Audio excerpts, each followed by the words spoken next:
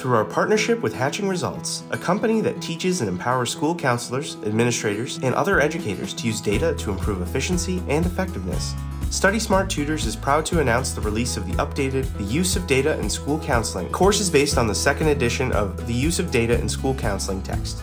This first course, Data, Data, Data, is all about how school counselors can use data to empower their students in counseling programs. Delivered through an intuitive learning management system, this course provides school counselors with comprehensive instruction hands on experience, and practical resources they can use to identify, analyze, and share school counseling data to impact the lives of the students they serve. School counselors will start by exploring state, district, and school data and examining why it is important for school counselors to utilize data in program management and accountability. In the second lesson, participants will learn about different types of data and explore how they are currently utilizing data versus how they want to use data within their school counseling programs. In the third lesson, School counselors will learn about the importance of creating SMART goals and be guided through creating a reasonable, measurable outcome goal for their programs. Additionally, learners will understand why it's important to write student centered goals for their counseling programs. In the fourth lesson, students will learn how to use data to evaluate their interventions. Through guided lessons, students will compare and contrast process, perception, and outcome data